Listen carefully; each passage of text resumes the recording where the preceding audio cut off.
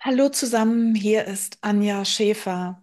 Am Sonntag, den 10.11.2024, habe ich im Rahmen des Bachheimer Club Taunus bei Peter Denk in Kirchheim einen Vortrag gehalten über Omnik Onik, die Frau von der Venus, über unsere gemeinsame Zeit der letzten 30 Jahre, die spirituelle Botschaft und vieles mehr. Es gibt zwar keine Videoaufzeichnung, doch es gibt eine Tonaufzeichnung und die Präsentationsslides inklusive einiger kleiner Videos und auch Fotos, die ich öffentlich noch nie gezeigt habe. Weiterhin in den letzten Minuten dieses Vortrages kündige ich auch die zwei nächsten großen physischen Konferenzen an, die durch mich organisiert werden. Das eine ist die Sternenerde-Konferenz, Planetarische Aufstiegskonferenz wieder auf Schloss Hohenfels vom 3. bis 6. Juli 2025. Der Ticketverkauf ist geöffnet und du findest alle Informationen darüber, welche Sprecher dabei sind, Musiker dabei sind in der YouTube-Beschreibung. Und damit du es jetzt schon mal als erstes auch hörst, an diesem Wochenende des 9. und 10. November habe ich auch mit Peter Denk und dem dortigen Eventmanager Swami Madhava zusammengesessen und wir haben zusammen einen Termin gefunden für die nächste ultimative UFO-Enthüllungskonferenz, die vom 13. bis 17. Mai 2026, also über viereinhalb Tage, dann dort in der Eventhalle in Kirchheim stattfinden wird. Alle Sprecher der diesjährigen UFO-Konferenz sind wieder eingeladen. Die meisten haben auch schon zugesagt. Und es wird noch einige mehr geben. Ich freue mich auf dich und auf alles, was da auf uns zukommt, denn wir sind in einer großartigen Zeit. Bis dahin, viel Spaß mit meinem Vortrag. Tschüss.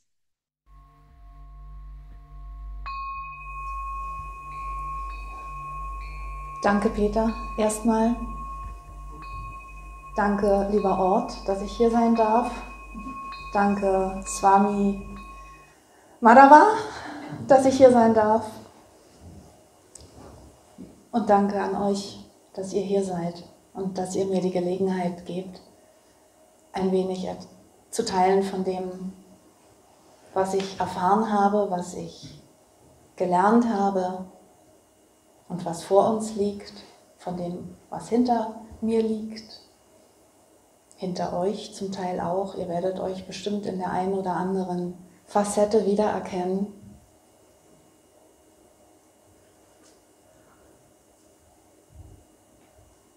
Wer von euch kennt Omnek Onek gar nicht, hat noch nie etwas von ihr gehört?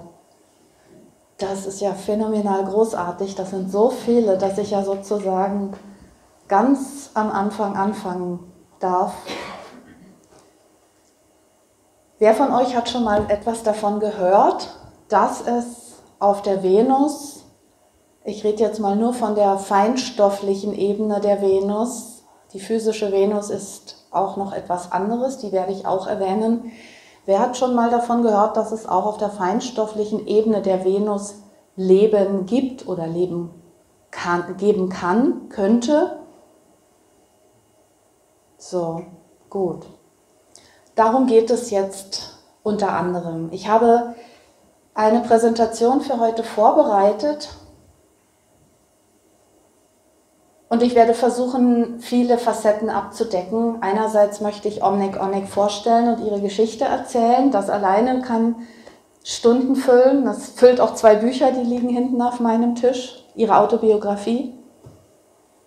Ich möchte allerdings natürlich auch gerne ein bisschen schauen, dass ich auch ein paar Erfahrungen mit euch teile, ein bisschen was aus der langen Zeit rauspicke. Da habe ich auch ein paar Fotos mit integriert, die ich einfach so rausgepickt habe. Ich habe so ein Pool an Foto- und Bildmaterial und Videomaterial, das sich über die ganzen Jahrzehnte angesammelt hat. Und ich werde natürlich auch schauen, dass ich ein wenig etwas von der Botschaft und von der Mission die Omnik äh, mitgebracht hat und die auch äh, weitestgehend zu mir übergegangen ist oder die einfach auch ich mit ihr teile, dass ich auch davon etwas vermittle. Und dann sind auch noch zwei, drei Aspekte neu dazugekommen, die ich als Inspiration empfangen habe, während ich gestern und heute im Tempel in den, in den Prayer teilgenommen habe. Und wie ich meistens so anfange, weiß ich immer nicht, wo ich anfangen soll. Deswegen fange ich einfach an. Ähm, da, wo es anfängt. Deswegen brauche ich immer noch meine Präsentation. Ich könnte natürlich auch reden, reden, reden, aber mein roter Faden, den ich vorher mir, als ich ganz im Ruhezustand sozusagen war und über ein paar Wochen überlegt habe, was mache ich, wenn ich hierher komme, diese, ähm, diesen roten Faden, der, der, der hilft mir einfach, damit ich mich dann so ein bisschen so dran langkangeln kann und ein Konzept habe gewissermaßen, weil jedes einzelne Bild, was ich jetzt zeige, führt wieder in neue Geschichten und in neue Tiefen und man könnte aus jedem ein, eine, riesen, eine riesen Story machen. Ne? So, Omnik Onik, Botschafterin von der Venus. Genau, wir fangen jetzt mal mit einem Sound an. Nuri Bani ist ein Mantra. Ähm, Omnik sagte immer, es ist ein, sind Sanskrit-Begriffe, das wissen wahrscheinlich einige von euch besser als ich. Und es soll Licht und Klang heißen. Und der ähm, Grund hinter diesem Mantra ist der, dass in der äh, Information, die Omnik weitergibt, in der spirituellen Lehre, das ganze Universum auf Licht und Klang basiert, dass also die ganze Schöpfung aus Licht und Klang entsteht, entstanden ist, entstehen wird. Da gibt es ja keine Zeit. Und das ist hier Omnics Stimme, deswegen habe ich jetzt damit gedacht, beginne ich, damit ihr sie wenigstens schon einmal hört und einen kleinen Eindruck bekommt. Das ist ein Mantra, was sie singt.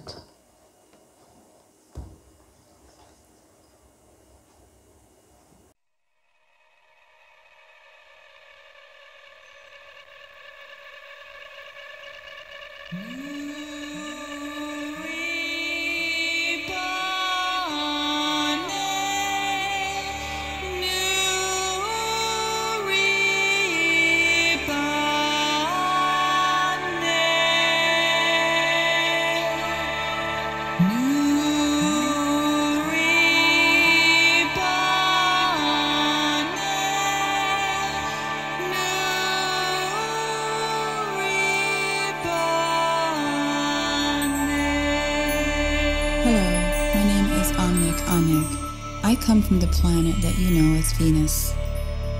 I would like to give you a Venusian greeting, which means may the universal love and blessings be. Amul Abaktu Barakabashad.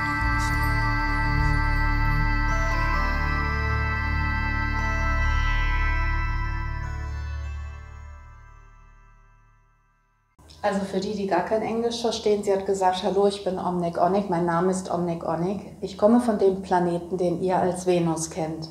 Und ich möchte euch einen venusischen Gruß übermitteln, der lautet Amul Abaktu Baraka Bashad, mögen universelle Liebe und Segnungen sein. Genau. Ah, jetzt kann ich das wieder mit dem. So, Jetzt fangen wir mal erstmal ganz äh, 3D-mäßig pragmatisch an. Das ist äh, eine Darstellung, vermutlich entspricht sie der wissenschaftlichen Wirklichkeit, der Größendimensionen, Schwesterplaneten Erde und Venus. Die Venus ist der Erde sehr nah, sie ist ihr physisch sehr nah und sie ist ihr geschichtlich sehr nah, jedenfalls laut der Informationen, so wie Omnic Onyx sie teilt, gab es einst eine Zivilisation auf der physischen Venus vor langer, langer Zeit, doch nicht nur auf der physischen Venus, sondern auch auf anderen Planeten in unserem Sonnensystem. Omnic selbst spricht von Mars, Venus, Saturn und Jupiter. Ich kann nichts über die anderen Planeten dieses Sonnensystems sagen, denn das ist so, wie sie es übermittelt hat, der ähm, der Ursprung der Menschheit auf der Erde vor, vor sehr, sehr, sehr langer Zeit, dass er mit der Bevölkerung, der Kolonialisierung von diesen Planeten begonnen hat.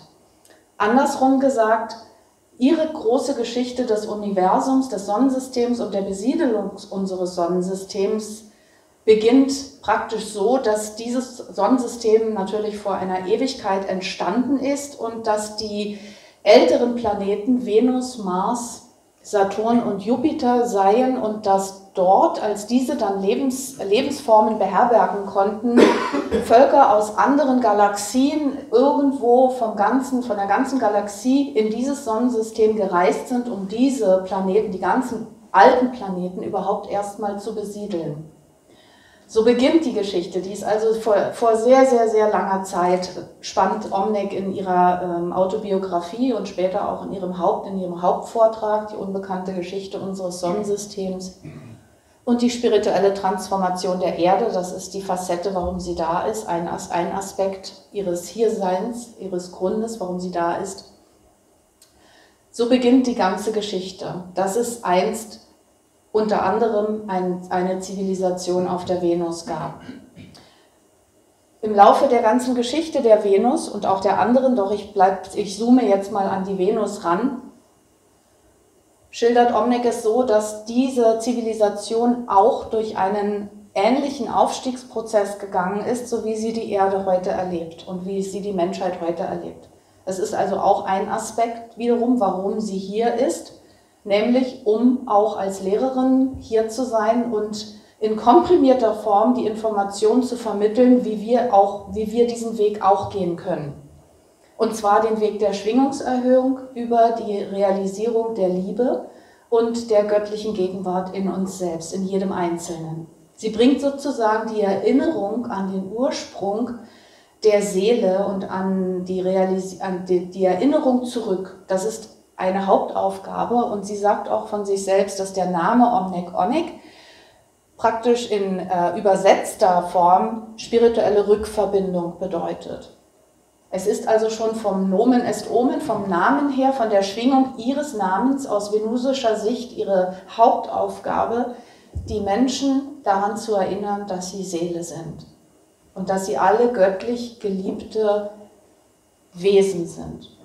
Und diese Menschen, die damals, sie sagt, oh, es sind Menschen gewesen, also die Menschen, die damals die, äh, das Sonnensystem besiedelt haben, die hatten dieses komplette, vollständige Wissen noch. Sie waren also total in ihrer Präsenz, in ihrer Gottpräsenz. Sie waren verbunden mit allen Dimensionen. Sie konnten auch äh, durch die Zeit reisen. Sie konnten durch die Universen reisen. Sie hatten die Technologie und waren im Einklang mit der Schöpferkraft als ihre eigenen Planeten dann eben durch einen Evolutionszyklus gegangen sind und kein physisches Leben mehr beherbergen konnten,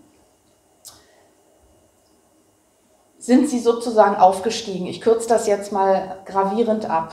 Und dort existieren sie laut Omnek auch heute noch. Also auf einer höheren Schwingungsebene der Venus gibt es so sagt sie, immer noch eine Gesellschaft, eine Zivilisation, die wie ein Duplikat des Physischen ist. Sie sagt, dass die Venusier aufgrund ihrer Liebe äh, für den Schöpfer, für, für die Gottheit, die, die alles erschaffen hat und wegen ihres Bewusstseins und ihrer Hingabe auch an den Dienst und ihres ganzen Wissens, weil sie eben so ein voll, vollkommen, eine vollkommene ähm, Selbstrealisierung sozusagen hatten, haben sie wie eine Art Segen bekommen, so beschreibt sie es, und sind, als Gesellschaft in eine höhere Schwingungsfrequenz angehoben worden. Wir können uns das fast so vorstellen, dass das mit den Menschen auf der Erde, die diesen Weg auch gehen wollen und die sich auch für diesen Weg als Seelen entschieden haben und deswegen jetzt inkarniert sind, dass sie das sozusagen auch so erleben. Diese Anhebung der Schwingungsfrequenz.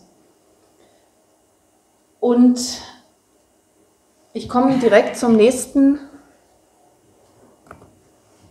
Aspekt, genau zum, zum nächsten Slide. Das, ist ein, das sind Abbildungen. Ich habe auch nur diese zwei Abbildungen tatsächlich, die ähm, von Künstlerinnen mal gemalt worden sind, die ein bisschen darstellen, wie man es sich auf der astralen Ebene der Venus vorstellen kann.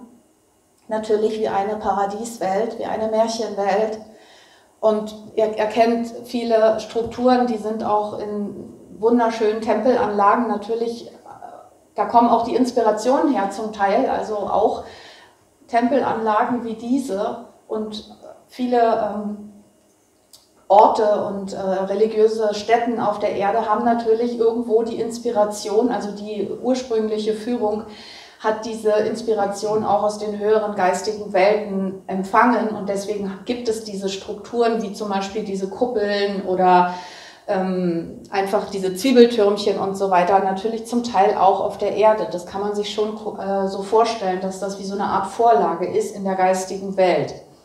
Nur natürlich ist es hier, wir sehen es auch an diesen ganzen farbigen, an dem farbigen Himmel und an der, an dieser ganzen Harmonie, die hier dargestellt wird, ist dort eben auch dieses Bewusstsein präsent, omnipräsent, also das Bewusstsein der Liebe, der Schöpferkraft, des Einklangs mit der Schöpferkraft, im Gegensatz natürlich zu dem, was wir seit langer, langer Zeit auf der Erde kennen.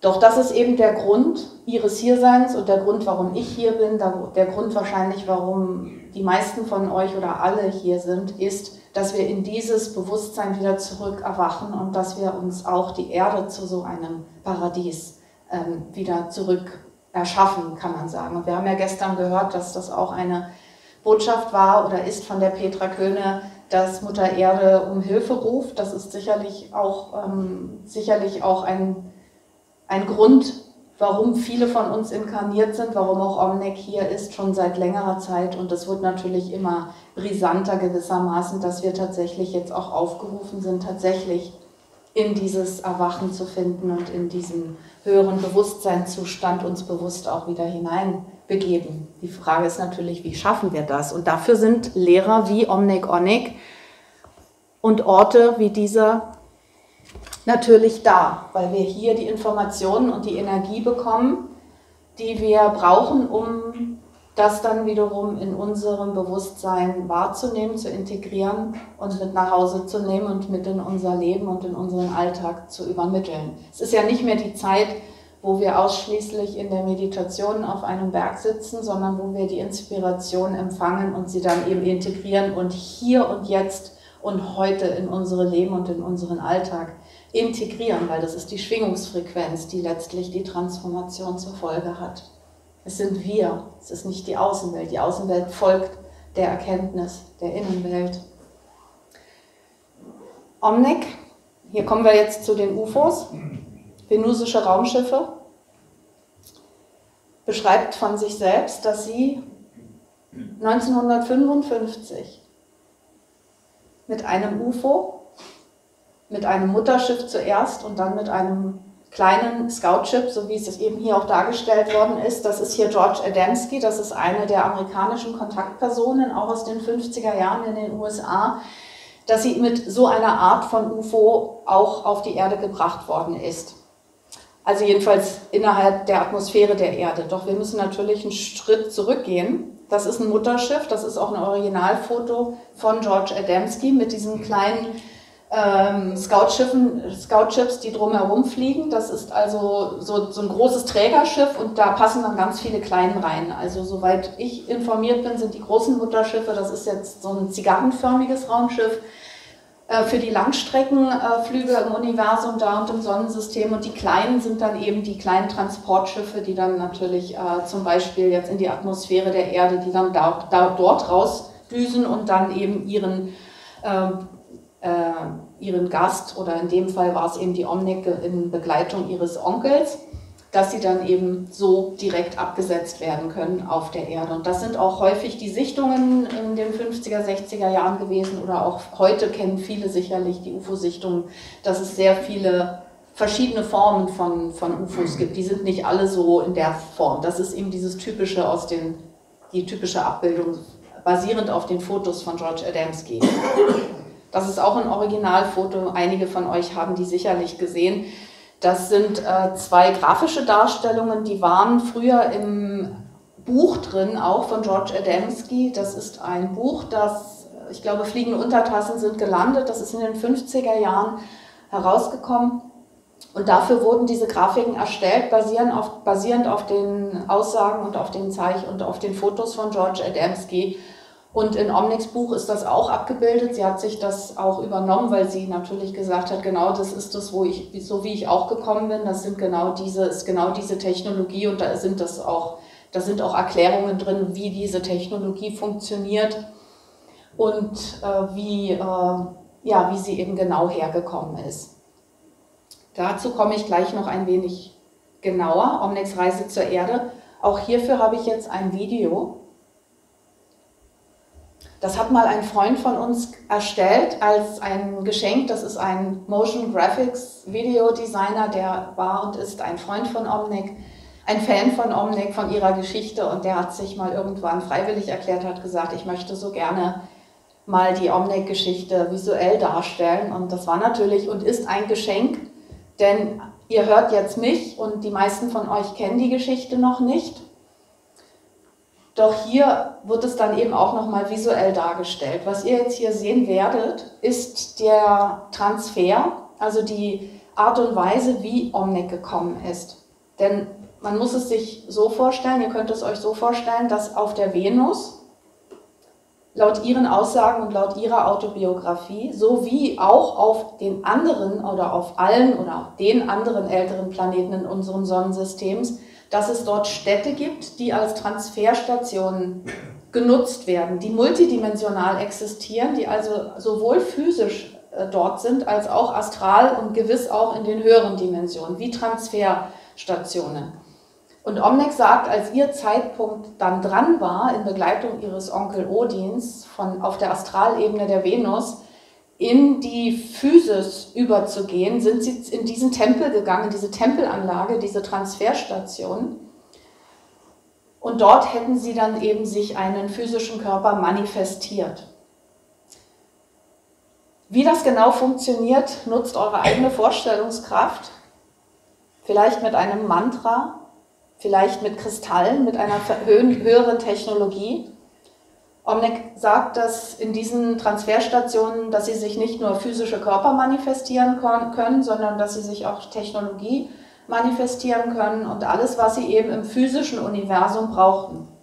Umgekehrt geht es natürlich genauso. Also wenn die Materie beherrscht wird, wenn ein Wesen oder ein Volk die, äh, die Materie beherrscht durch ihr Bewusstsein, dann können sie ebenso gut auch die Schwingung anheben. Und Sie sagt, sie ist mit ihrem Onkel Odin zusammen durch diesen Transferprozess gegangen. Und er hätte sie auch begleitet. Und er ist Wissenschaftler und hätte sich auch dafür entschieden, in die physische Realität runterzugehen, also die Schwingung zu verdichten, um im physischen Universum zu wirken. Einerseits, weil er, weil er ihr Kontaktmann oder ihre Kontaktperson geblieben ist auch. Natürlich nicht physisch, er hat sie halt hergebracht und begleitet, aber sie sagt immer, er ist nicht hier geblieben, sondern er existiert auf einem Raumschiff und arbeitet mit auf seine Weise an der Transformation der Erde und mit Technologie.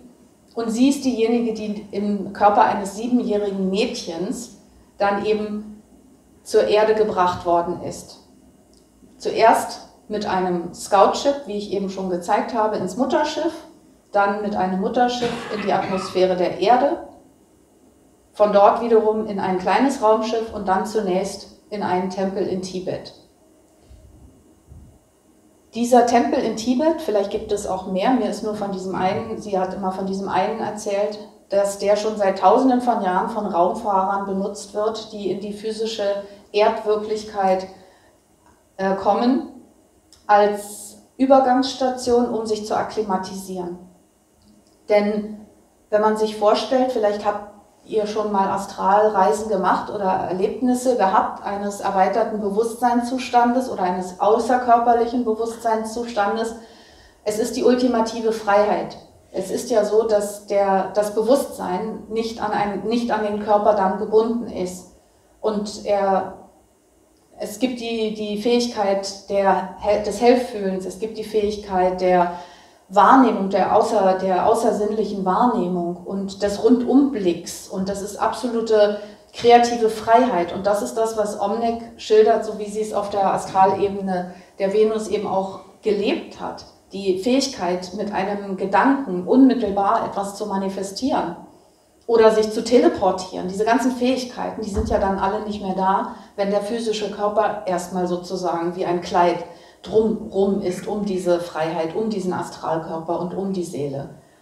Und deswegen, sagt sie, ist sie zuerst nach Tibet gebracht worden, um dort eben die Akklimatisierung durchzuführen, um sich richtig zu gewöhnen an diesen Körper, an die Dichte, um sprechen zu lernen, um ihre Stimme zu trainieren. Deswegen auch das Mantra am Anfang. Sie sagt, sie hat dort in den Bergen dann das Nuri Bani zum Beispiel gesungen, weil, das, weil sie damit eben auch mit dem Echo der Berge sich selbst wahrgenommen hat und gelernt hat, zu sprechen, die äh, letztlich dann natürlich auch die englische Sprache gelernt hat, weil sie wurde ja physisch vorbereitet, um durch ein anderes Mädchen, um ein anderes Mädchen physisch zu ersetzen.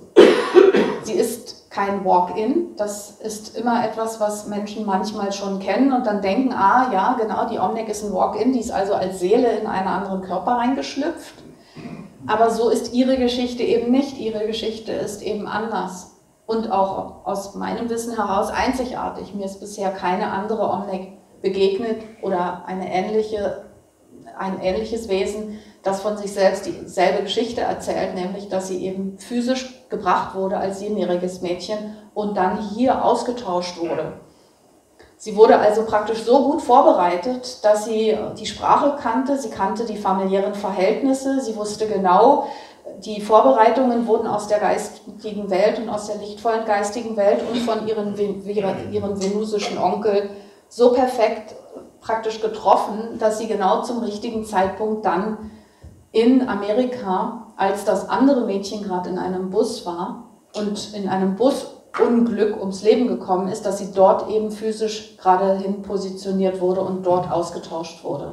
Und das, diese Geschichte, die ich jetzt eben nochmal mit meinen Worten dargestellt habe, die muss man manchmal öfter hören, um sie zu erfassen, weil das echt mindblowing ist. Das ist so ungewöhnlich. Und das wird hier jetzt nochmal visuell dargestellt.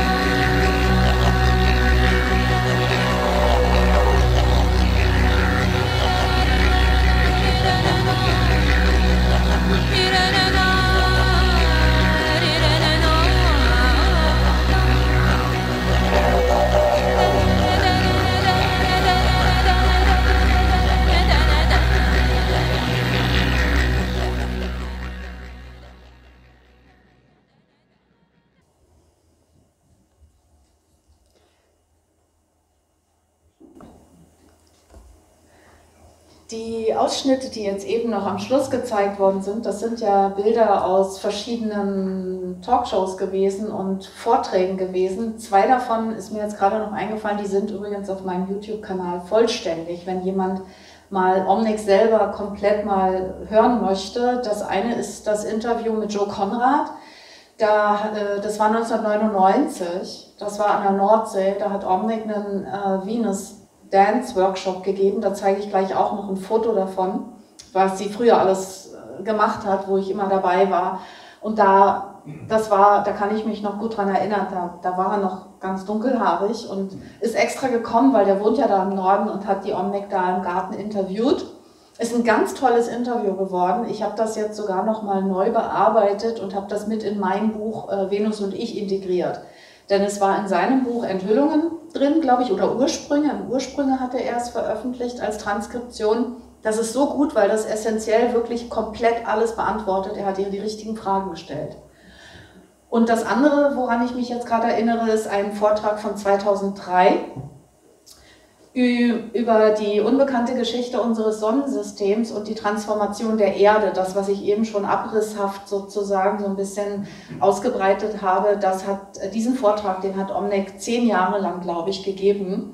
Und das war auch mein, ein Teil meiner ganzen Ausbildungszeit, dass ich das dann immer übersetzt habe. Ich bin ja mit ihr dann in Deutschland und so rumgefahren und, und äh, habe das dann immer übersetzt. Und deswegen kenne ich die Geschichte eben auch sowohl energetisch als auch ähm, mental sehr, sehr gut, weil ich das eben so oft durch mich durch habe äh, laufen lassen. Also ich musste das ja verstehen und ähm, damit ich es übersetzen konnte. Und ich habe es halt auch transkribiert und das ist in allen Büchern drin. Deswegen ist mir die Geschichte halt auch so vertraut. Also das ist jetzt, ähm, wären jetzt einfach so Hinweise. Das ist ein Foto von 2000, äh Quatsch, von 1900. 68, glaube ich, ungefähr. Da war ihre Tochter, oder 70 ungefähr, da war ihre Tochter ganz, äh, noch ganz klein, wie man sieht. Das ist, es sind die Anfänge. Also die Omnek, die ist ja, wie ich gesagt habe, eben als Mädchen gekommen. Und dann ist sie, hat sie praktisch ganz normal die, äh, die Kindheit und die Jugendzeit als anstelle der anderen, des anderen Mädchens, das im Busunglück ums Leben gekommen ist. Omnik hatte sozusagen ein Karma mit ihr und um unter anderem dieses Karma mit diesem Mädchen zu erlösen. Das war ein Grund, warum sie gekommen ist. Also die ganze Geschichte ist sehr, sehr vielschichtig, warum sie gekommen ist. Und das war ein Aspekt davon, weil sie sowieso nochmal hätte reinkarnieren müssen. So wurde es ihr mitgeteilt, sozusagen von den Meistern auf der Venus. Die haben ihr gesagt, wenn du auf die Erde gehst und deine Mission erfüllst und die Leute erinnerst, wer sie wirklich sind und sie und dies und jenes alles sozusagen machst, dann und uns Informationen schickst, was sind die Probleme der Menschen, weil das war auch ein Grund ihres Hierseins, dass sie wie eine Art ähm, äh, Informationssenderin auch hier eingeschleust wurde, weil die ähm, weiterentwickelten Wesen, die haben relativ verzweifelt versucht, Lösungen zu finden. Wie können wir denn den Menschen auf der Erde helfen, damit sie sich wieder erinnern an das, was sie wirklich sind? Denn die haben ja alles vergessen. Und die sind ja in dieser in dieser, äh, wir nennen es ja Matrix, also die sind ja so eingesperrt in ihren Glaubens- und Gedankensystemen und so kontrolliert und manipuliert, wir kommen ja da gar nicht mehr durch. Und so haben sie dann eben Lösungen gesucht und Omnic war eine ihrer Lösungen, dass sie gesagt haben, wir wollen mal schauen, wie das ist, wenn wir ein Mädchen von uns mit vollem Bewusstsein in die, in die Menschheit einschleusen. Überlebt die das? Das war also auch wichtig zu wissen. Und wenn, wie überlebt sie es? Wie kommt sie klar mit den Bedingungen der Menschen auf der Erde, mit diesem niederen Bewusstsein? Wie kann sie das? Kann sie da überhaupt äh, gesund mit fertig werden? Oder wird sie wahnsinnig? Oder wird sie krank? Oder sonst was? Und sie, sie war sowas wie ein, äh, eine, ähm, ja, wie, so, wie auch in gewissermaßen wie ein spiritueller Spion. Sie musste halt herausfühlen, was ist wirklich hier das Problem, damit sie auch Lösungen anfangen konnten zu entwickeln und nach und nach auch Lösungen in intensiverer Form bringen konnten. Wir müssen daran denken, als Omnic kam, war es 1955. Also das war ich glaube, Zeit des Kalten Krieges. Das wissen alle äh, äh, politisch äh, Informierten noch viel besser. Also es war die Zeit, wo die mit Atomwaffen rumexperimentiert haben und wo schon äh, Atomzerstörungen auch schon hintergelaufen sind, nicht? Also äh, wirklich, also die, die Gefahr, dass der ganze Planet äh, in, die, in die Luft gesprengt wird, so wie es ja auch schon, wissen sicherlich einige, auch schon mit anderen Planeten passiert ist, wegen äh, der Zerstör wenn die zerstörerische Kraft sozusagen überhand nimmt und, die, und die, das Herz und die Spiritualität sich nicht mitentwickelt in gleicher Weise, dann besteht die Gefahr, dass dann letztlich der ganze Planet in Schutt und Asche gelegt wird. Und diese Gefahr bestand bei der Erde auch. Und deswegen, weil die Venus ja eben Schwesterplanet äh, ähm, zur Erde, nicht? weil sie in uns auch physisch, also in der ganz, im Universum, im Sonnensystem so nah sind, sie sind ja unser Nachbarplanet, sind sie auch von allem beeinflusst, was auf der Erde äh, losgezündet wird. Also wenn hier irgendwas äh, Atomkraftmäßiges passiert, zerstörerisch passiert, dann hat das nicht nur einen Einfluss auf, auf, die, auf die Erde, sondern auch auf die ganze Galaxie, auf das ganze Sonnensystem. Und deswegen war die Alarmbereitschaft unter den Außerirdischen, die ein liebevolles, beschützendes Auge auf die Erde haben, eben sehr, sehr erweckt, als die Zerstörung äh, zu großes Ausmaß anfing anzunehmen. Und das ist ein, darum fingen die ganzen Kontakte in den 50er Jahren so an, sind so auffällig geworden. Das war mit George Adamski, den habe ich schon gezeigt, Howard Menger, es sind viele, ähm, viele, äh, viele Kontakte passiert in der Zeit weil sie eben anfingen, in verschiedener Weise Informationen, Lehrer und eben auch Kontaktler hier zu bringen. Und Omnic war eben auf ihre spezielle Weise eine von denen, die sie gebracht haben, um hier eine Veränderung zu bewirken. Das ist Wendell C. Stevens, das ist der äh, US-Colonel und Retired Air Force Colonel war, genau, der ist jetzt auch schon seit ein paar Jahren verstorben. Er war der Erste, einer der Ersten, der Omnic damals mal in einem, äh, in einem Radio gehört hat. Da gab es noch, äh, da hatte sie schon, war sie schon auf dem Weg in die Öffentlichkeit sozusagen. Sie wurde ja von ihrer inneren Führung ähm, natürlich immer geführt und angeleitet und die entsprechenden Menschen sind dann mit ihr in Kontakt gekommen, so wie eben in dem Fall Paul Twitchell, das ist der Mann auf dem linken Foto, das war der Gründer der spirituellen Organisation Ekankar. Aber das ist eine andere, eine größere Geschichte. Das ist auch in Ihrem Buch beschrieben. Man könnte, wie ich vorhin schon gesagt habe, in jedes, in jedes äh, Feld extrem reinzoomen. Und äh, Wendell C. Stevens kam eben später ins Feld und hat ihr dann auch die, ersten, äh, die erste Plattform gegeben, öffentlich zu sprechen. Und auch das ist auf meinem YouTube-Kanal ein Video von, ich glaube fast, es muss ihr erster Vortrag überhaupt gewesen sein von 1991, wo Wendell sie noch vorstellt, wo er noch sagt, wie beeindruckt er von ihrem Wissen gewesen ist und äh, wie sie auch mit, mit den kritischen Fragen umgehen kann, immer in stoischer Ruhe, mit absoluter liebevoller Gelassenheit, hat die sich wirklich auch den Medien und der Öffentlichkeit förmlich zum Fraß vorgeworfen. Man kann sich vielleicht vorstellen, heute geht es ja schon einigermaßen, aber was die Frau alles mitgemacht hat, als die anfing, mit ihrer Information in die Öffentlichkeit zu gehen, nicht nur, dass es Außerirdische gibt, sondern Leben auf anderen Planeten, dann noch, noch in anderen Dimensionen. Und was nicht alles noch dazugehörte, die ganze Spiritualität, die Liebe, die sie gebracht hat, das, das triggerte so enorm.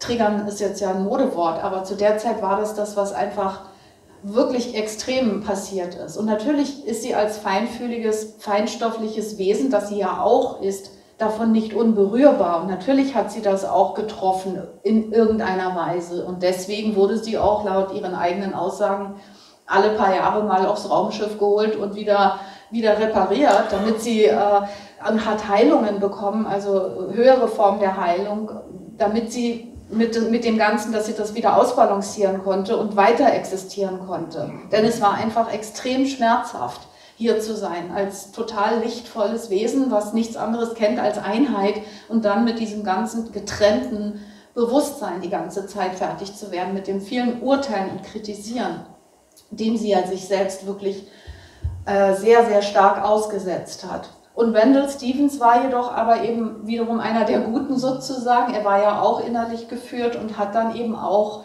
als erster ihr Buch herausgegeben. Also dieses ursprüngliche Buch From Venus I Came kam 1991 durch Wendell in einer Mini-Auflage von 1000 Stück zum ersten Mal raus, ist also auch heute eine hoch, äh, eine teuer gehandelte Rarität, wie ihr euch vorstellen könnt, ja, und, ähm, und so fing es an. Interessanterweise, auch das ist wieder so eine Sache, was hat jetzt diese Omnik und diese ganze Venus-Geschichte mit Deutschland zu tun? Das ist so spannend zu erforschen und auch tiefer diese Aspekte sich anzuschauen, denn da gibt es wirklich größere Zusammenhänge, als man sich vorstellen kann. Denn was ich hier erzähle, sind ja Tatsachen. Gut, Omnics Geschichte kann man glauben oder fühlen, dass es wahr ist oder nicht, das ist die eine Sache. Aber die Geschichte, wie sie dann tatsächlich physisch hier auch in die Öffentlichkeit gegangen ist, die ist, die ist, die, die ist dokumentiert. Und damit meine ich, dass damals Michael Hesemann, das war damals einer, der UFO-Kongresse organisiert hat, der war in Amerika und hat die Omnic sprechen gesehen und, gesehen und hat die direkt nach Deutschland importiert der hat dafür gesorgt, dass die, ich glaube, 93 das erste Mal auf einem großen UFO-Kongress in Düsseldorf gesprochen hat. Und in dem Zusammenhang tauchte dann auch sofort der richtige erste Verlag auf. Das war der Omega Verlag. Und schwupp war Omnics Buch auf Deutsch erhältlich. Und zack, war sie dann auch noch in den deutschen Talkshows. Und nicht nur das, sondern sie blieb hier kleben. Also Omnic war von dem Zeitpunkt an nur in Deutschland. Es gab nie ein weltweites Riesenmanagement. Es gab nie diese Form von, wow, die Omnic ist jetzt irgendwie äh, sichtbar und jetzt kommen die, äh, kommt das große, was weiß ich, Erwachen und wir importieren sie in alle Länder und es wird in alle Bücher übersetzt. Nein. Die Wege der venusischen Wirkung ist, die sind so ähm, so anders, als, als man sich das vielleicht auch vorstellen kann. Es geht ganz, ganz stark von Herz zu Herz, von Mensch zu Mensch im Kleinen. Omnics Aufgabe war, im Kleinen zu wirken. Und deswegen ist es auch kein Wunder, dass viele von euch noch nicht von ihr gehört haben. Es ist nicht schlimm. es ist kein Wunder. Denn sie ist einfach nicht wirklich in die riesengroße Öffentlichkeit gekommen. Vielleicht kommt ihre Geschichte irgendwann mal groß raus und kommt dann in die großen Hollywood-Kinos. Doch bis jetzt, zu ihren Lebzeiten, war das alles so eine kleinere Geschichte. Und auch ich habe mich, ich komme ja gleich hier auch noch mit ins Bild rein, ich habe mich immer gefragt, mein Gott, wieso ich?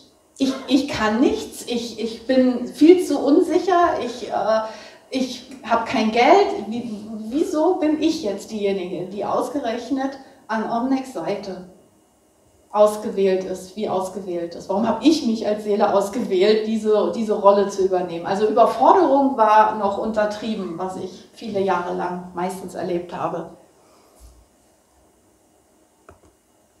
Das ist das Buch, genau, das alte Cover. Ja, Omnik und Anja, die Anfänger. Also das sind äh, 1997 Geschichte habe ich in meinem Buch aufgeschrieben. Also wenn jemand äh, Details lesen möchte, ich habe es vor, vor einem Jahr, habe ich plötzlich die Inspiration bekommen und habe das mal alles, alles ausgegossen, also wie, wie das alles genau zustande kam. Äh, es, ist, es ist einfach wirklich, wenn man sich das anschaut und dann vielleicht auch mal sein eigenes Leben mit dieser Brille des Staunens anschaut, dann kann man sehen, wie geführt alles ist und wie wundervoll göttlich kosmisch orchestriert, wirklich alle Begegnungen sind und wie alles irgendwie zusammenpasst. Es ist ein Wunder. Ich hatte schon früh, mit 15 ungefähr, fing ich an, mich zu interessieren, wer bin ich und so. Und außerdem war ich kontinuierlich unglücklich verliebt. Ich hatte nie irgendwie Glück mit, äh, mit einer Partnerschaft. Und diese zwei Facetten, die haben mich eben auf den spirituellen Weg gebracht. Ja? Die Suche nach Liebe und äh, die Suche nach Selbsterkenntnis. Und so fing das früh an und ich hatte dann schon so Interesse, ah, ich war ja nun, es war ein Glück, dass ich in Berlin geboren bin und da hat, gab es schon esoterische Buchhandlungen.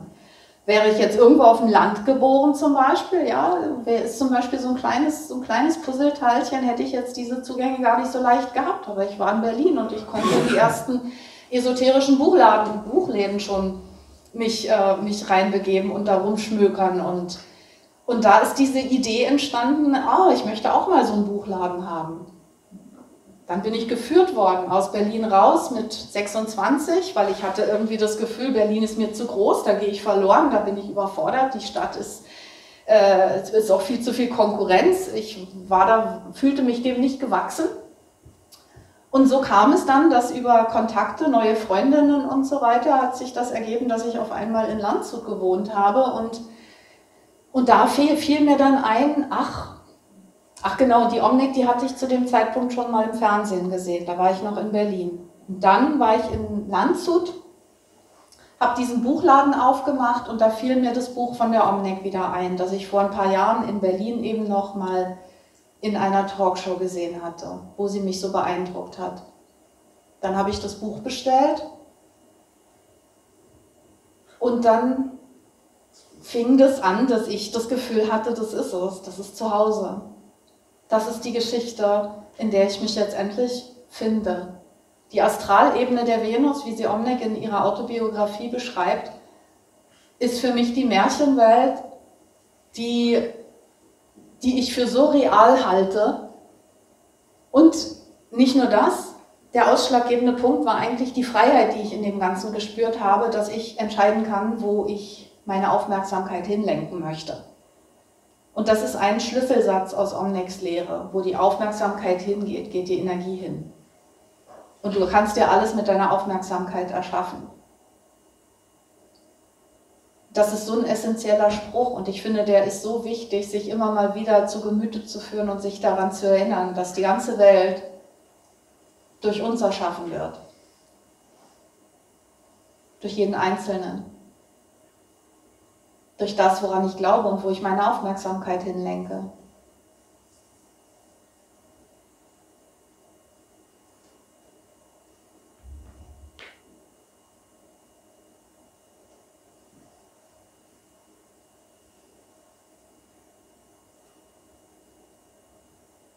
Man kann bestimmt sehen, wie Omnick und ich damals zusammen geschwungen sind. Ne? Wir haben gut harmoniert. Das tun wir auch, naja, heute ist es ein bisschen anders. Es ist jetzt 30 Jahre her ungefähr. Es ist so viel passiert in dieser Zeit.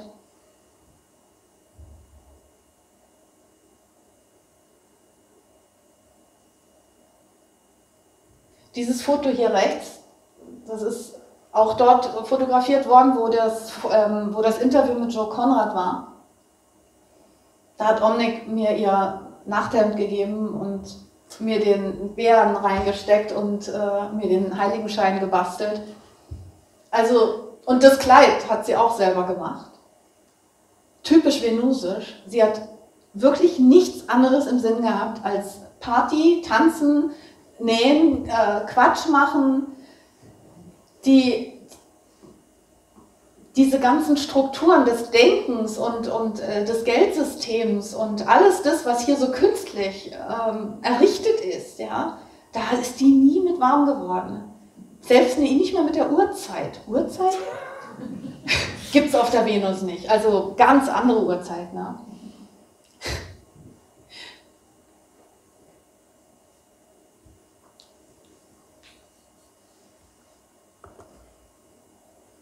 Ist auch noch so ein Beispiel. Ich habe ganz bewusst, das ist ein Foto, das habe ich noch nie öffentlich gezeigt, aber weil Peter ja gesagt hat, ich soll ein bisschen was Näheres auch über Omnek erzählen und über die Zeit mit Omnek, habe ich gedacht, ich zeige euch ein paar äh, Fotos, was, wirklich, was, was wir wirklich erlebt haben.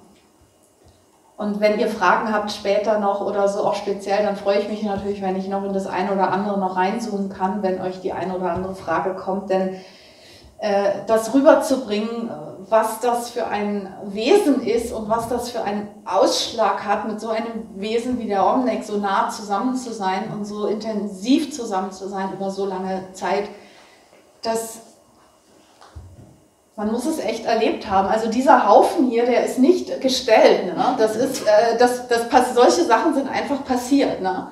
Die Omnek hat einen Venus Love Workshop äh, einfach ins Leben gerufen. Dann nimmt sie hat sie Seidenbilder genommen, die habe ich damals gemalt, weil ich ja durch die Nähe mit ihr auch einen kreativen, äh, eine Kreativattacke gekriegt habe. Ich bin ja eigentlich überhaupt keine Künstlerin, also nicht identifiziert mit Malen und Singen und Tanzen und, und so weiter. Und plötzlich war die Omnick in meinem Leben und dann musste ich auf einmal Seidenbilder malen. Und das sind so, so Geschichten, ja. Und dann hat die meine Bilder genommen und hat die aufgehängt, unter anderem da auch als Dekoration. Und ich war so unsicher, ihr könnt euch nicht vorstellen, ich war, ein, ich war die Unsicherheit in Person. Ich habe immer gedacht, ich, das ist doch nichts wert und meine Bilder sind nicht schön und wieso machst du das alles?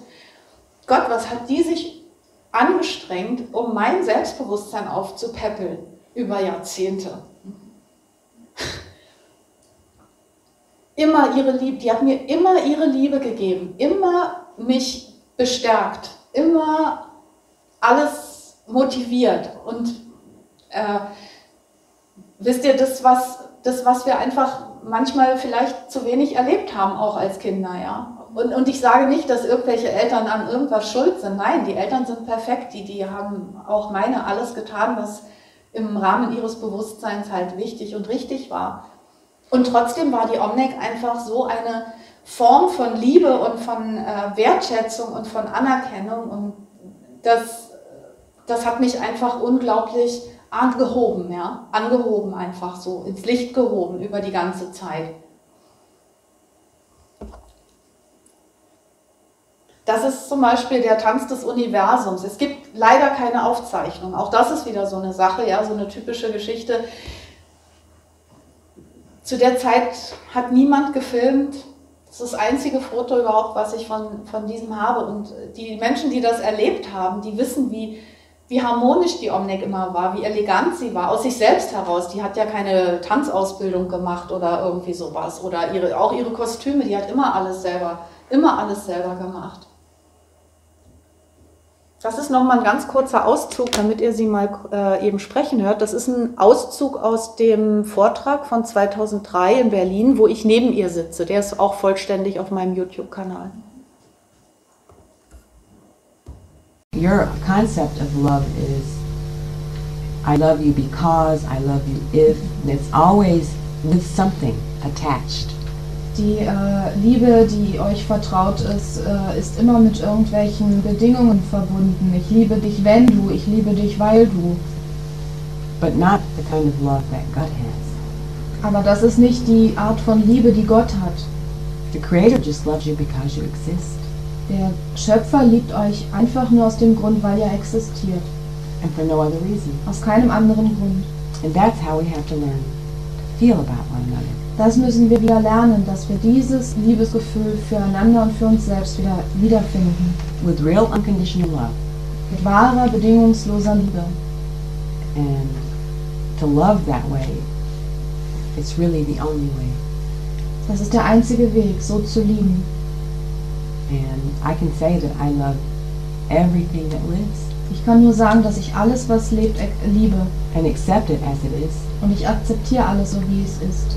Yeah, and I love it because it is. Und ich lieb's, weil es einfach existiert. And uh, I want to thank you for taking the time to come here. Ich möchte euch äh, jetzt dafür danken, dass ihr euch die Zeit genommen habt, heute hier zu sein. And I hope you decide to spend some more of your time with me. Und ich hoffe, dass ihr euch dafür entscheidet, noch ein wenig mehr Zeit an diesem Wochenende mit mir zu verbringen. And I'd like to say uh, a Venusian greeting. Ich, goodbye. ich möchte jetzt einen venusischen Gruß euch geben, um auf Wiedersehen zu sagen. which means may the universal love and blessings be. Das bedeutet, möge die universelle Liebe und Segnungen sein. A mule, a bhaktu, baraka bishad. Das kann ich nicht übersetzen. Habe ich ja schon.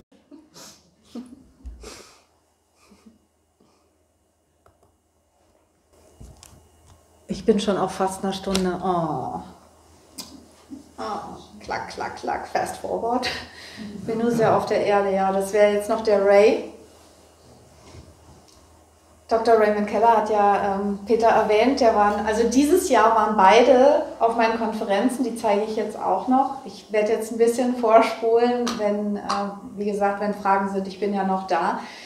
Das ist die ähm, eine Darstellung Daraus könnte man wundervoll, da, da hat Omnek damals Tages- und Wochenendworkshops draus gemacht. Das ist äh, die Darstellung der Gottwelten.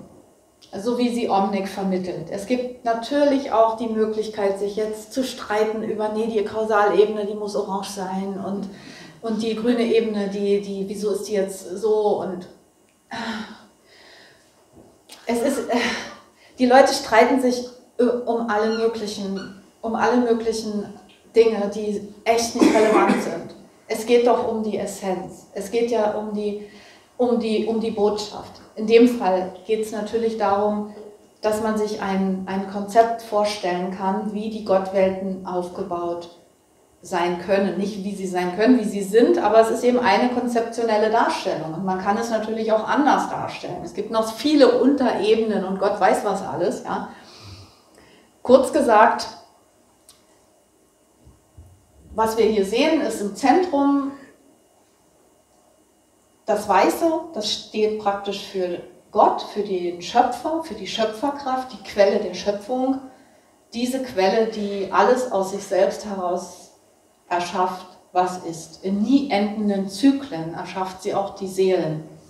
Die gelbe Ebene beschreibt sozusagen, steht hier jetzt für die Seelenebene, dass, dass jede einzelne Seele ein Funken Gottes ist wie ein Tropfen aus dem Ozean und trotzdem ein Teil des Ozeans. Und das ist das, wenn man sagt, ich bin Gott oder ich bin eine Facette Gottes oder ich bin ein Aspekt Gottes, es ist alles gewissermaßen, gewissermaßen richtig und falsch gleichzeitig. Es ist ja nicht möglich, Wahrheit nur mit Worten auszusprechen.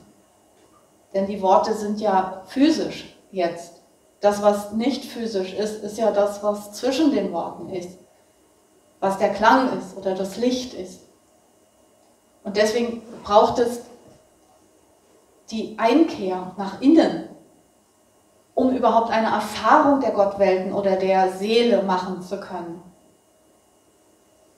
Gott-Erfahrung ist nicht möglich über nur Worte und nur über Mentalkörper oder über nur Lesen. Es braucht die Erkenntnis über die inneren Welten.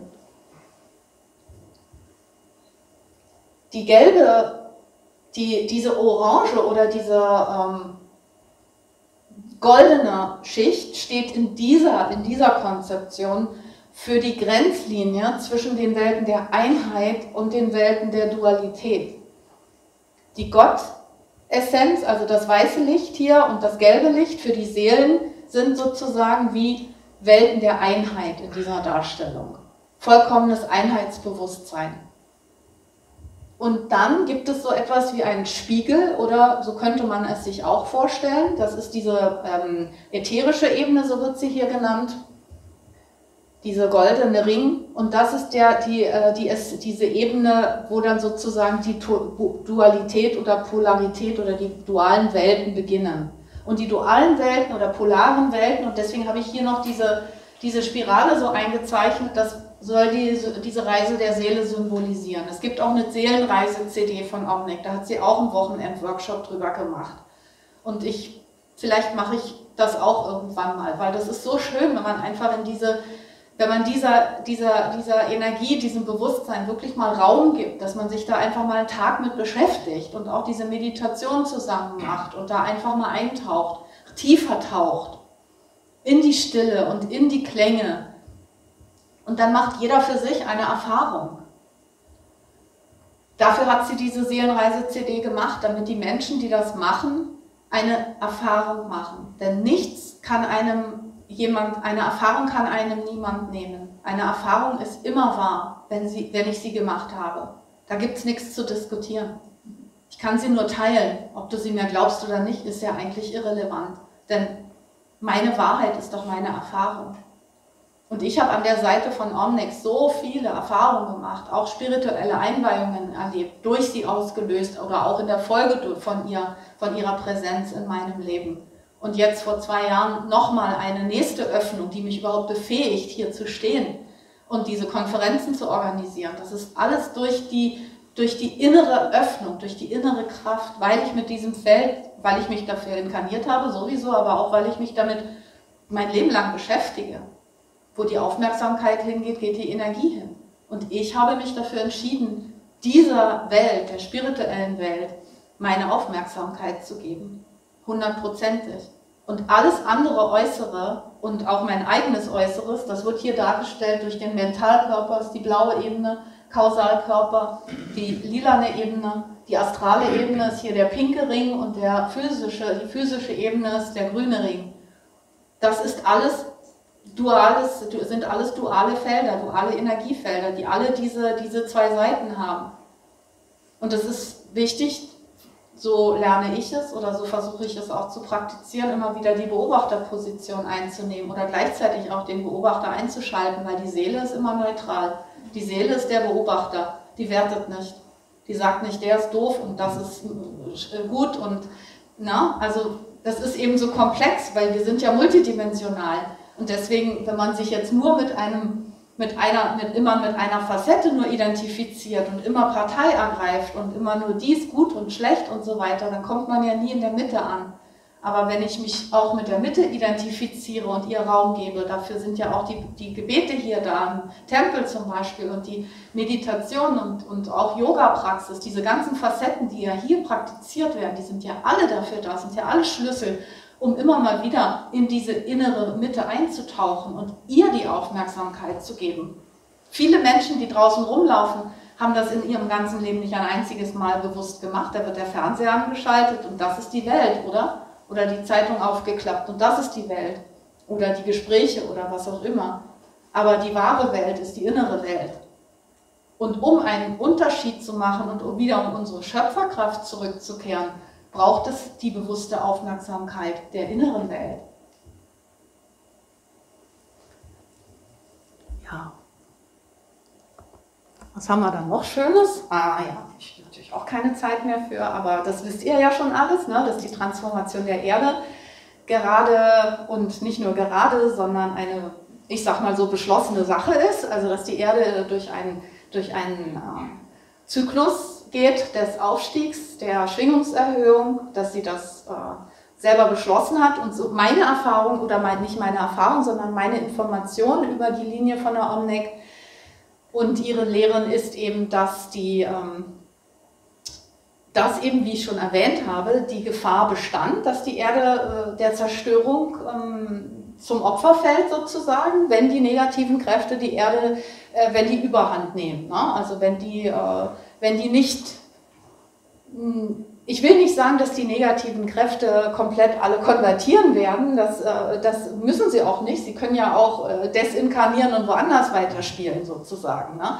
Also, aber die Erde, die muss sich lösen von diesem zerstörerischen Dualitätsfeld und der absoluten äh, Beeinflussung des, des, ähm, der Unbewusstheit oder auch der bewussten Machtausübung, sondern es geht jetzt wirklich in Richtung Selbstermächtigung. Und wir sind diejenigen, die auch die neue Welt erschaffen. Die wird uns nicht von, von außen gebastelt, sondern das machen wir über unser inneres Erwachen und deswegen die Spiritualität, die ich und Omnek schwerpunktmäßig transportieren.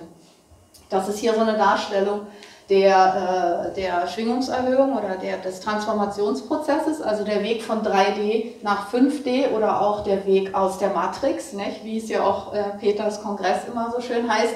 Das ist eine, eine Darstellung, natürlich recht äh, anschaulich, man kann sich das gut überlegen, da kann man auch in jedes ein reinzoomen, ja, dass angstbasierte Handlungen oder kein Vertrauen in das Universum, an Bedingungen geknüpfte Liebe, Ergebniskontrolle, also immer alles, was ich mache, braucht ein Ergebnis, ja, äh, Geld verdienen oder Erfolg oder so, das ist immer dieses etwas umzumachen, ähm, ego-getrenntes Bewusstsein. Also ich bin hier, du bist dort, das ist diese Illusion des, äh, der Getrenntheit. Das ist die Identifikation mit drittdimensionalem Bewusstsein. Es ist ja nur eine Bewusstseinsebene sozusagen. 3D kann auch physisch sein, aber es ist eben, ähm, mit 3D ist hier das getrennte Bewusstsein gemeint.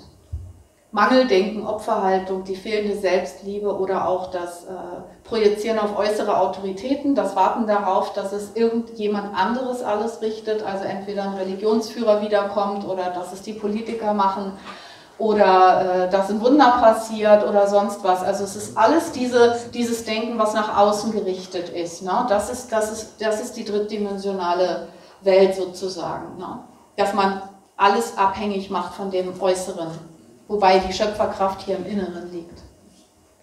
Die Suche nach Liebe außerhalb von sich selbst, da bin ich auch Profi drin, aber nicht mehr. Ich habe es auf jeden Fall überwunden, das steht in meinem Buch.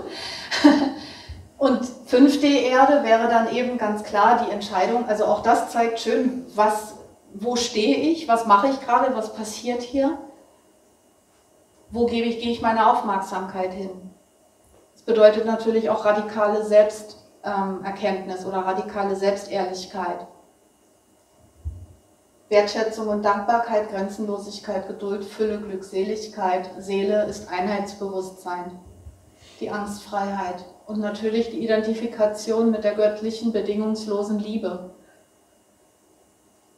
Das kann man nicht machen, das kann man nur sein. Liebe ist. Und wenn sie ist und erkannt ist, dann drückt sie sich von alleine aus. Und das spüren andere. Das spüren auch Tiere natürlich. Tiere sind ja in der Liebe. Pflanzen sind in der Liebe. Die sind ja nicht getrennt. Vertrauen ins Universum, spirituelle Meisterschaft. Das sind Worte von Ray, passt, fasst es einfach schön zusammen. Der Planet Erde durchläuft derzeit einen dimensionalen Aufstieg. Damit sich die Erdbewohner mit dem Transformationsprozess mitbewegen können, müssen sie durch die Anhebung ihrer eigenen Schwingung ihr Bewusstsein erweitern. Das Erleben des individuellen Himmels hängt nicht davon ab, was der Mensch während seines Lebens erreicht oder nicht erreicht hat, sondern davon, wie sehr er sich der unendlichen Liebe, der göttlichen Gegenwart geöffnet hat. Gott ist Liebe und ebenso wie die Erde ist die weiterentwickelte Venus ein Teil des göttlichen Plans und des himmlischen Königsreichs. Als Schwesterplanet der Erde unterstützt die Venus den inneren Aufstieg des Menschen durch ihre harmonische Strahlung die sie kontinuierlich zur Erde und in die Herzen der Menschen sendet. Und Omnek ist zum Beispiel ein Repräsentant dieser Strahlung. Ray ist ein Repräsentant dieser Strahlung. Und alle Seelen, die da in, die inkarniert sind und damit in Resonanz gehen, sind auch Träger dieser Strahlung. Wir pflanzen das alle fort wie ein Licht, das dann wieder ein anderes Licht entweder anzündet oder zum größeren Strahlen bringt. Und dieses Licht bricht die Matrix. Denn da, wo Licht und Liebe und Einheitsbewusstsein ist, da kann keine Kontrolle und keine Machtausübung und keine Manipulation mehr herrschen. Deswegen ist es so relevant, diesem inneren Licht Wertschätzung und Präsenz und Aufmerksamkeit zu geben. Das ist nur noch mal ein anderes Bild in anderer Darstellung. Wie eben gesagt, das habe ich gebastelt, das ist auch eine Darstellung der zwei Entwicklungsrichtungen am Ende des 3D-Zeitalters. Also es wird ja viel auch vom Split der Erde gesprochen, äh, in die Richtung, in die Richtung und so. Habe ich jetzt, gehe ich jetzt auch nicht näher drauf ein, wer das gerne sich äh, anschauen möchte. Es ähm, ist in meinem Buch drin. Ich habe es im Grunde genommen ja eben auch schon erklärt. Es zeigt jetzt nur noch mal einen, einen anderen Aspekt, äh, nämlich dass das basiert auch auf einem Video von Robin Kaiser, das fand ich sehr inspirierend, weil er hat erzählt, dass die Menschen jetzt eben sozusagen die Wahl haben. Sie haben praktisch im Moment, das ist wie, als würden sich alle Türen gleichzeitig öffnen und die Seelen können, können wählen, ob sie sich entweder weiter verdichten wollen, das stellte er dar als die vierte Matrix, also die digitale Matrix in virtueller Welt. Das ist jetzt also auch eine Option für die Menschen, die eben weiter in die, in die Vertiefung gehen möchten, ja, die weiter in die, in die Technologisierung, in die komplette Computisierung, äh, die, die sich völlig identifizieren wollen mit künstlicher Intelligenz, die sie also auch in ihrem Körper gerne haben möchten und äh, die sich da drin also auch äh, weiterentwickeln wollen in diese totale Kontrolle, weil diese Richtung gibt es ja offensichtlich auch, das wissen ja sicher alle von euch. Und dann gibt es aber auch diese andere Richtung und das ist eben die, die 5D-Erde. Und es gibt auch alle anderen Optionen. Es gibt auch die Möglichkeit, komplett gleichzeitig mit dem, mit dem vollkommenen Urschöpfer wieder in die, in, die, uh, in die Einheit zu kommen. Also jedenfalls ist das eine Darstellung, über die man sich Gedanken machen kann oder die man mal reflektieren kann, was es alles für Wahlmöglichkeiten gibt, wie frei wir in Wahrheit sind als Seelen. Das hatten wir gestern auch, genau, je besser du ausgerichtet bist, desto höher schwingst du. Das hatten wir gestern, ich gehe gleich noch kurz drauf ein, auf, die, auf das neue Chakrasystem, also der galaktische Mensch, das ist aus einem Buch von 1994, auch Vorreiter gewesen, Äh, mir fällt gerade der Titel nicht ein, aber ich, ähm, ja, Becoming a Galactic Human Being, das ist meine, meines Wissens nach auch gar nicht, nie auf Deutsch von Sheldon Neidl. Das ist gar nicht auf Deutsch übersetzt worden. Da ist auf jeden Fall dieses, äh, diese Abbildung drin des neuen Chakrasystems. Omnic ist das damals zugetragen worden, auch als wir am Anfang waren der öffentlichen Zeit und das, äh, also jemand, ich glaube der Mus Musikmanager, der hat ihr dieses Buch gezeigt und sie hat gesagt, genau das ist es, was passiert und dann hat sie das auch in ihren Workshops und Vorträgen weitergegeben und hat diese, ähm, ich musste immer die Kopien machen und die den Leuten verteilen, damit die Menschen sich damit beschäftigen und sich bewusst machen, dass wir ein, ähm, übergangsweise ein erweitertes Chakrasystem installiert bekommen, sozusagen, weil nach und nach die höheren Fähigkeiten wieder zurückkehren zu den Menschen. Also je höher die Schwingung wird, desto mehr Fähigkeiten kehren zurück, wie zum Beispiel die Telepathie und die, ähm, die Hellhörigkeit und die außersinnliche Wahrnehmung, die Fähigkeit, wieder voll bewusst zu sein und diese ganzen außersinnlichen oder übersinnlichen Fähigkeiten, die Kommunikation mit den anderen Welten, die ganzen hohen Fähigkeiten, die wir als galaktischer Mensch oder als vollbewusstes Wesen, als Lichtwesen sozusagen alle haben. Die sind alle potenziell schlafend in jedem Einzelnen. Und im Zuge der Transformation der Erde werden die eben wieder nach und nach aktiviert und sie hat früher immer gesagt, ihr werdet eure Mickey Maus Ohren spüren. Damit meinte sie hier diese galaktische äh, weibliche und galaktische männliche Energie, die sich wieder aktiviert. Und ich habe das damals im Jahr 2000 wirklich gefühlt. Ich hatte das Gefühl, hier sind zwei kleine Gizmos irgendwie, so Antennen, die sich auf einmal aktiviert haben.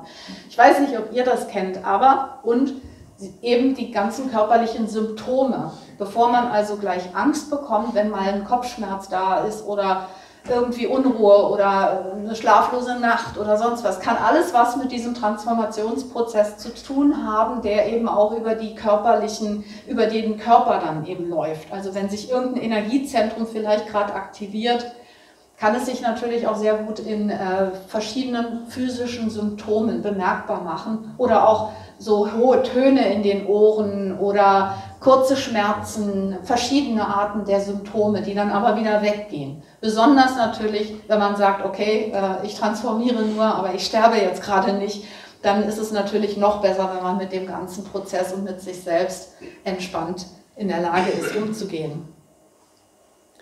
Die Vorstellungskraft ist der Schlüssel zur Schöpfung.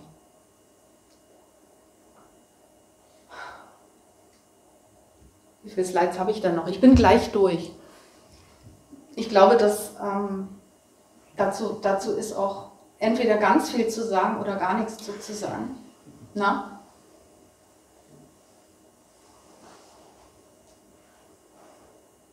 Ha.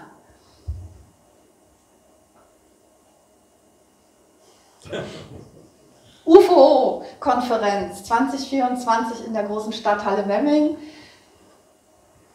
und die von der Venus mit Liebe Konferenz. Es, es lag und liegt mir schon am Herzen, euch das einfach zu zeigen, denn äh, ja, ich bin schon auch stolz, irgendwie, also nicht egomäßig stolz, äh, sondern ich freue mich auch, ja, dass, dass das einfach passiert ist, dass ich so in so eine Kraft gekommen bin durch äh, eine erneute Aktivierung meines Herzens auch und meines Bewusstseins, dass ich dass ich mich so führen lassen kann mittlerweile, dass solche Sachen entstehen. Äh, und ich finde das phänomenal. Also ich finde das einfach großartig. Ich hätte mir sowas vor 20 Jahren nicht träumen lassen. Da habe ich mich nicht mal getraut, einen Pieps zu sagen vor Leuten. Und jetzt ist sowas möglich.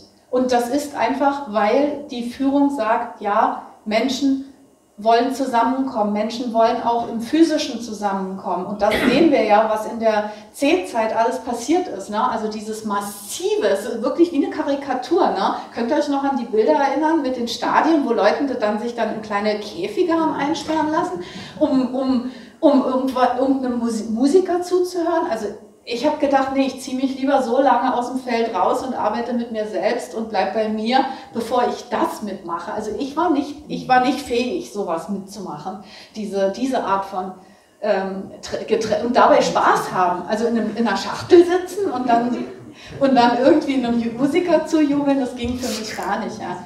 Oder ich bin auch nicht ins Restaurant gegangen. Ich bin gar nicht, ich habe das wirklich als einen, eine, eine Zeit genommen, die ich für Innenschau verwendet habe und um mit mir selbst zu arbeiten und äh, um für mich sozusagen herauszufinden, was, wie geht es weiter, was will ich und so weiter. Ich, hab, ich hatte das Gefühl, ich, setz, ich sitze das aus. Also ich, ich habe es ausgesessen. Ja? Und ähm, genau, und heute umso stärker und umso besser denn je äh, kommen jetzt solche Sachen zustande wie solche tollen Konferenzen. Ja, das sind äh, nochmal zwei schöne Erinnerungen. Ne? Die ganzen, die zum Teil dem Bürgermeister von Memmingen so auf den Schlips getreten sind. Keine Ahnung.